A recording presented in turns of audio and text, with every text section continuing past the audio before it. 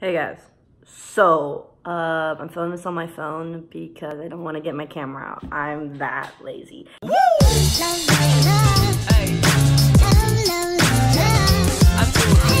Oh my god, I have so much stuff to tell y'all. I have so much. Okay.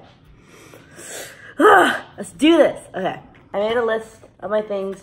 Um, there's only seven. I thought there was eight. First off, I've been wearing my hair down more, as you can tell. Pretty fancy, pretty fun. Um, that's the first thing. As you can tell from my background, I'm not at my house anymore. Oh, my hair. Uh, I've moved out. Number three, I came out. I'm gay. Yeah. So that brings me on to the next thing. I have a girlfriend. And we've been dating for almost, like officially dating, almost three months now? August. I live with two kittens. Let me go get them. Here they are. Here are the two kittens. I have pictures of them. This is Fedo right here. This is Remy. It's being weird. They're not used to the camera. These actually belong to my girlfriend.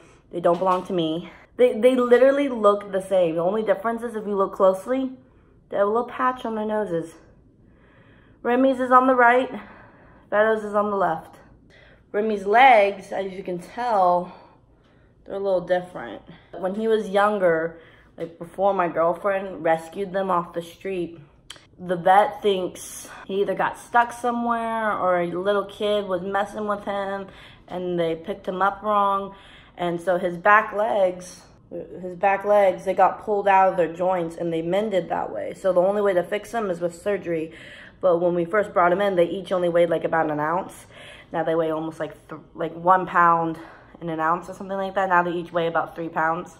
So they definitely gained some weight, which is very good because we feed them twice a day. But because of that, he can't run, he can't walk, he can't sit like a normal cat. And certain, some things are a little difficult for him. He has to put in a little bit more effort. But he's okay.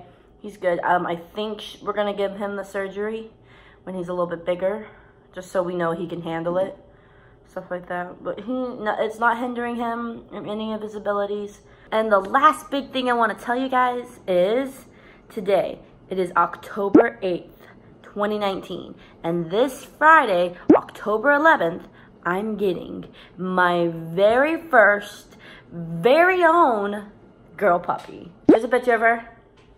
Her name is Serendipity Marble Lake. Um, obviously, Marble Lake is her middle name. Serendipity is her first name. We're going to call her Dippy because Serendipity is a lot to say and a lot to learn. She is a Blue Merle Mini Aussie. I'm going to start uploading again more like an update video on Dippy and her life. So thank you guys so much for watching. I hope you liked this video. If you did, please give it a big thumbs up because we all like a thumbs up. And you know, you watched the entire video, so you might as well give it a thumbs up.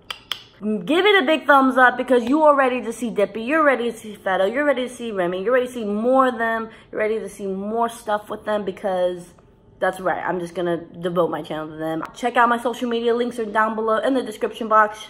You'll get more weekly updates with those.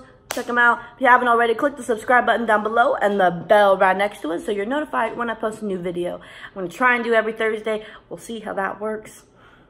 And I think that's all I got, so make sure you live life like you love it.